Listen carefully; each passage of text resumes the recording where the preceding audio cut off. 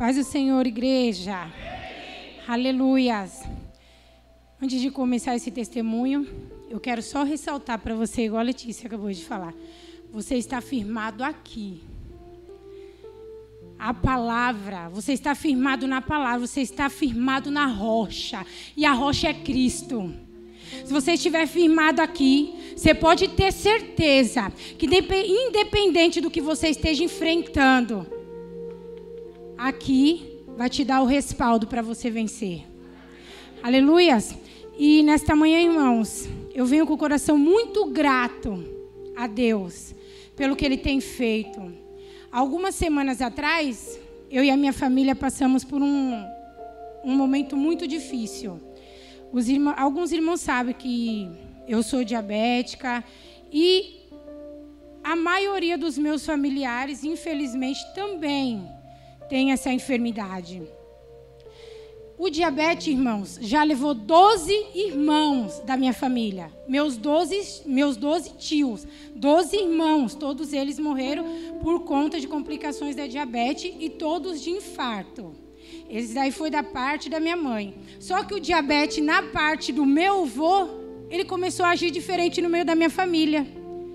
Ele começou levando o pessoal da minha família paralisando o rim. E aí vai paralisando o rim, eles vão precisando de diálise e passa pouco tempo e eu vou perdendo. E há pouco tempo eu perdi um tio meu assim e também tem uma prima nessa situação. Então, algumas semanas atrás, eu e a minha família nós vivenciamos um momento muito difícil, porque o meu tio, diabético também, já perdeu também a visão, teve que amputar também um dedo já. Ele ficou muito, muito ruim. E ele não conseguia mais respirar. Então, quando chegou o limite dele, ele pediu para que a esposa dele levasse ele para o hospital, porque ele já não estava mais aguentando respirar. Irmãos, e quando chegou no hospital, o médico olhou a situação dele e falou para ele: a gente vai precisar intubar o senhor. Mas mesmo ele sem conseguir muito respirar, mesmo ele, sabe, com a pouca força dele, ele pediu para o médico não intubar ele porque a gente sabe quão doloroso é o processo né, da intubação. E tem muita gente que não volta mais depois dela. E ali ele, ainda consciente, pediu para o médico, falou para o médico, falou, por favor, não me intuba não. Eu estou consciente, eu vou conseguir ainda. Isso tudo foi decorrência da o coração dele inchou e comprimiu os pulmões. Então ele não estava mais aguentando respirar. E, irmãos, ele estava com o coração inchado, sem conseguir respirar, e os rins dele já estavam paralisados. E aí o médico falou para ele: Olha, seu José, a gente vai precisar te entubar. E ele pedindo para o médico: Não, eu vou aguentar. Eu vou aguentar consciente, eu vou aguentar. E ali a minha família entrou em desespero, irmãos. A minha família entrou em desespero a minha mãe, que é irmã dele, as minhas outras tias, que são tudo irmãos, elas entraram em desespero, começaram a chorar. E eu ali todo momento tentando manter a calma para passar segurança para eles. Eu estava firme por fora, mas o meu coração também estava bem é, abalado, triste pela situação. Mas não me prostrei diante da situação, não. Porque eu creio no Deus que eu sirvo. E ali a situação só foi piorando. Ali no hospital, que, no hospital que ele foi socorrido, não tinha condições de tratar ele. Ele foi de ambulância, já com oxigênio, tudo transferido para um outro hospital, irmãos. Quando chegou no outro hospital, não tinha vaga nenhuma, ele ficou no corredor com oxigênio no corredor ruim, só foi piorando. E ali meus parentes entraram em desespero. E quando eu vi a minha mãe chorando, desesperada, pensando que ia perder meu tio, todo mundo em desespero. Ali eu comecei a orar dentro de casa, falar com Deus. Mas aí, irmãos, a gente fala, é, a gente costuma falar, quanto mais a gente ora, piora.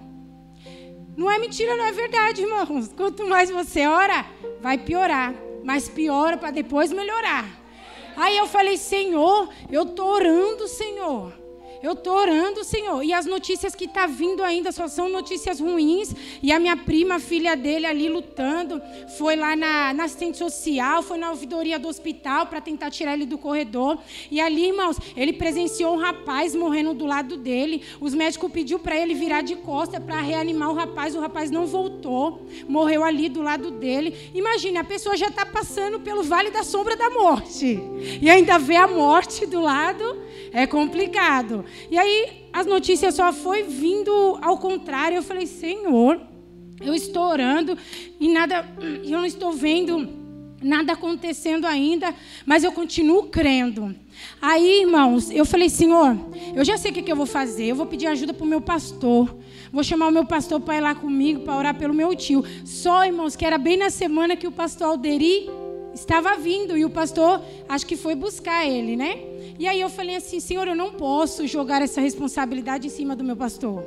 Porque o meu pastor já está atarefado, ele está com a cabeça a mil, porque o pastor dele está vindo. Então eles estão na correria. Eu não posso fazer isso com o meu pastor. Porque a gente também, irmãos, tem que saber a hora de cuidar do nosso pastor, de saber que eu e você também temos autoridade.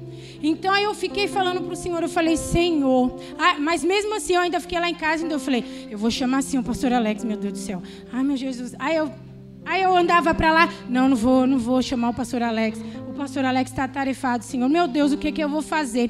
E ali, por algum momento, eu me desesperei. Eu não vou mentir para os irmãos. Porque tem situações na minha, na sua vida, que a gente se desespera. Mas o consolo de Deus vem logo.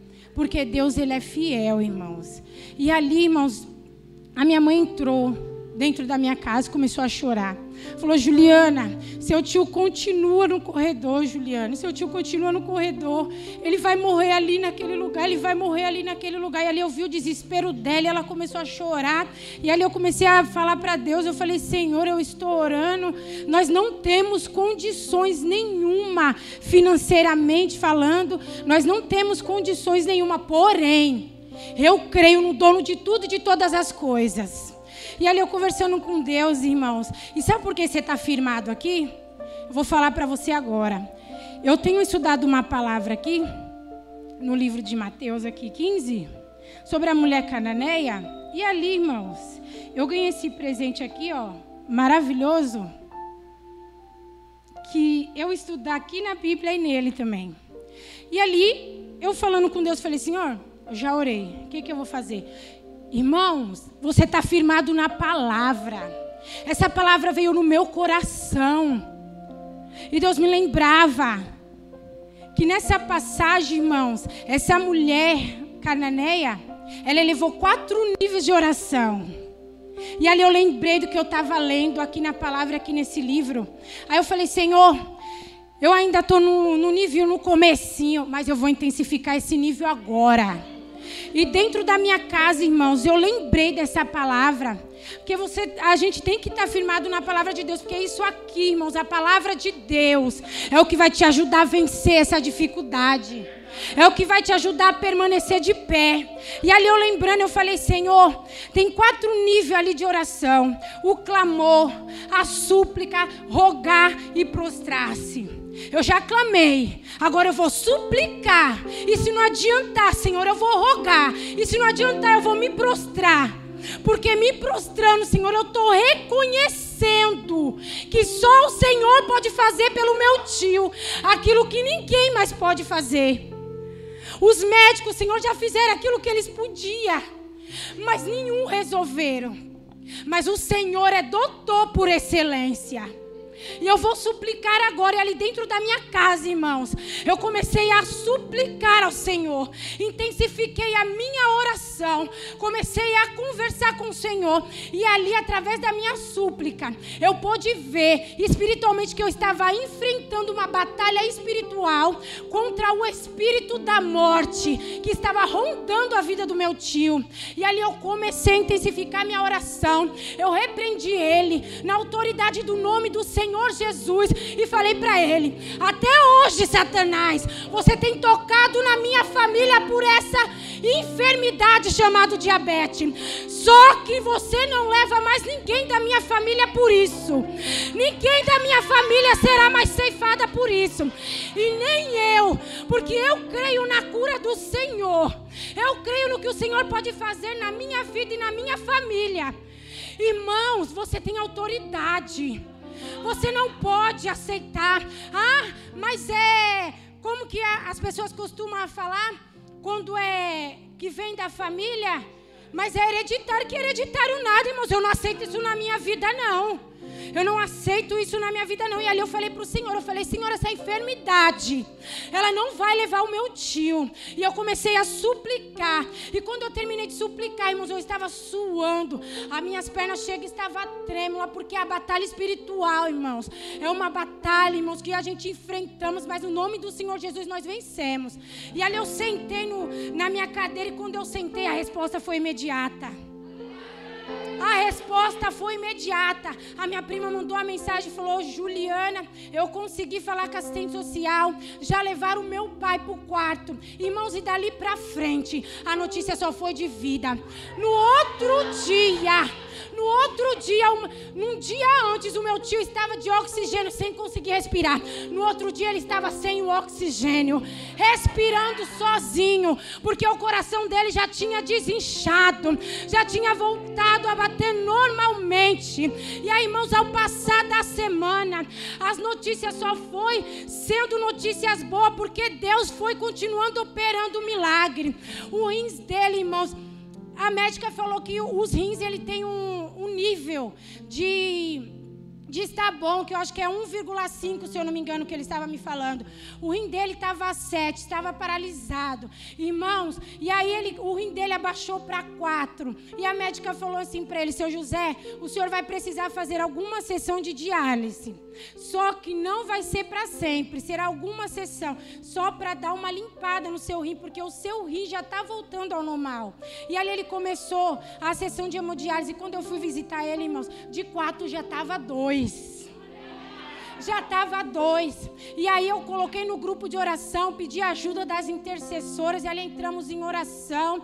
E aí, irmãos, a resposta do Senhor é maravilhosa. Ele estava aguardando por uma vaga numa clínica para poder ter alta desse hospital. A vaga da clínica saiu. E sabe o que, que a médica falou para ele? Seu José, eu posso falar para o Senhor que talvez o Senhor não vai mais precisar de hemodiálise, porque o seu rim já voltou a funcionar. Só, irmãos, que ela usou uma palavra que não cabe no meu vocabulário e não deve caber no seu também. Porque ela falou assim: talvez você não precisará, mas só que eu falei para ele, eu falei, tio, o senhor vai sair desse hospital e ainda que o senhor vai para a clínica e eles falam que o senhor ainda vai precisar de alguma sessão, eu não trabalho com talvez, porque o meu Deus não trabalha com talvez. O meu Deus é certeza. E pela certeza que eu tenho no meu Deus, você já está curado em nome do Senhor Jesus. Irmãos, ele está de alta para a honra e glória do Senhor. Porque Deus é maravilhoso e ele faz além. Ele faz além do que eu e você pedimos. Hoje a gente ia preparar um almoço de agradecimento para a vida dele. Porém, irmãos, devido ao frio, devido à garoa, a gente preferiu dar uma adiadinha. Porque devido à diálise, a imunidade cai, né? Então a gente preferiu adiar. Mas eu quero falar para você: se você estiver firmado aqui, você vai vencer essa batalha. Amém? Eu agradeço a minha oportunidade em nome de Jesus.